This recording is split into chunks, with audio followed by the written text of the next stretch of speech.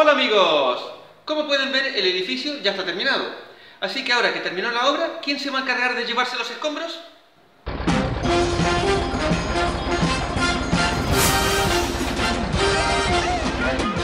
Sí, justo a tiempo. Bueno, pues ahora que está nuestro personaje de hoy aquí, manos a la obra y empezamos con el vídeo.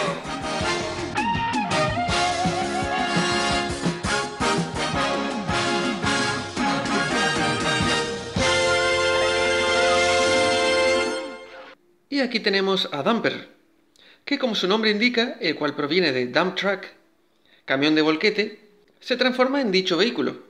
Aunque en ningún lado he visto una descripción de a qué vehículo real se refiere, si es que está basado en alguno.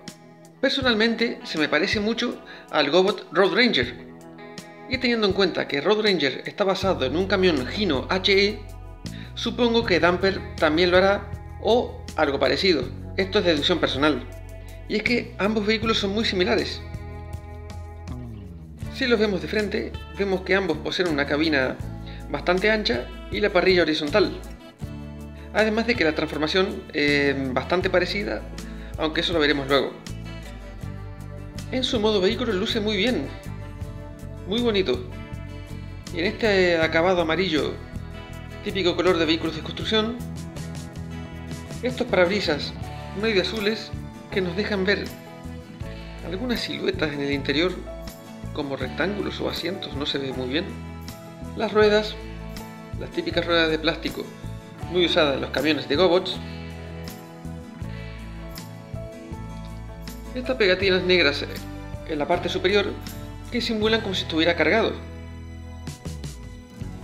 Y ya que hablamos de volquete, estaría bien que este pudiera abatirse como la realidad, pero sin embargo no se puede. Como podemos ver, al tirar para atrás levanta las ruedas y esto implicaría ya entrar en la transformación, lo cual todavía no. La parrilla está original. Vemos que está tallado la palabra Poppy. No olvidemos que este juguete fue fabricado por Poppy por primera vez. Y MR09, que su designación la línea Machine Robo.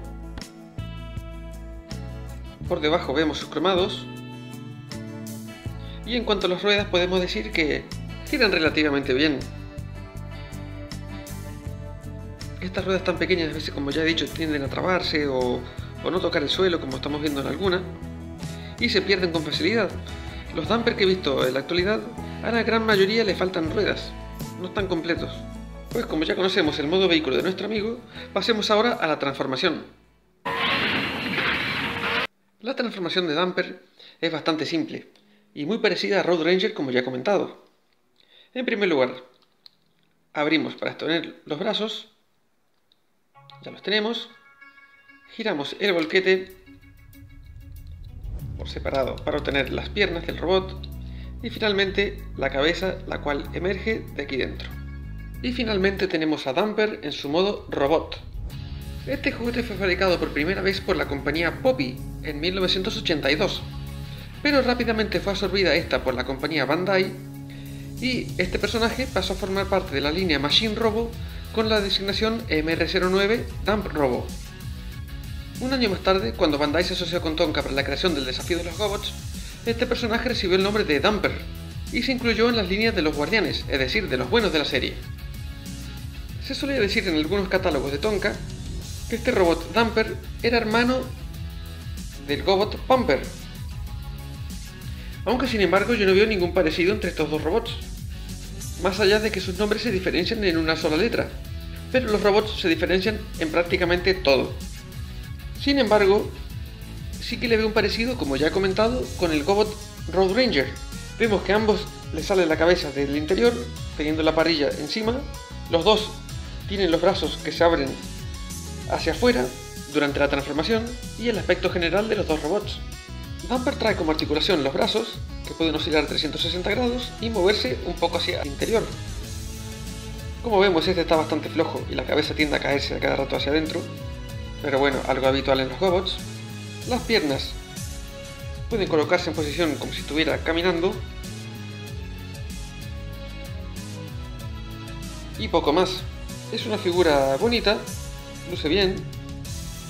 Como ya he dicho, se puede conseguir en la actualidad, pero las ruedas es raro que estén todas, las seis como en este caso. Los cromados tienden a desgastarse. Y un punto a favor que tiene es que como sus piernas y sus pies son bastante anchos, se mantiene bien en pie. Es un Gobot que aunque no es de los más famosos, luce bien en nuestra colección. Así que con todos ustedes, Dumper. En la serie animada, Dumper hizo una breve aparición en un solo capítulo donde ni siquiera llegó a hablar. El prototipo de este juguete fue marrón, pero finalmente la versión de producción en serie fue en el amarillo típico de vehículos de construcción. Las versiones de Bandai y Tonka eran prácticamente iguales, a excepción de una pegatina en los brazos que solo venía en la versión de Bandai. En un pack oficial llamado Best 5 se incluyó una versión azul de este robot. También existieron algunas versiones bootleg de este robot. Algunas carecían de cromados y la pegatina que simulaba la carga. Otros eran más parecidos al original pero con una protuberancia en el techo. E incluso otros eran en color negro. En la serie Machine Robo de Revenge of Chronos hizo algunas apariciones y fue interesante verlo con los otros camiones Trailer Robo y Mixer Robo.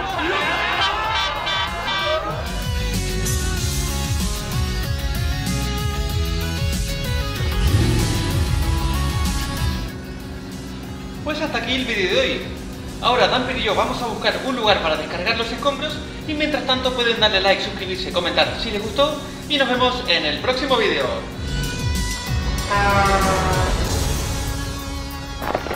¡Aquí no, Damper!